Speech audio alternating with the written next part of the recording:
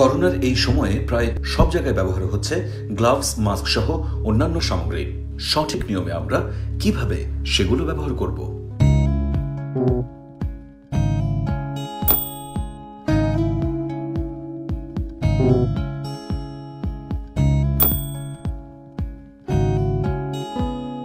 thank you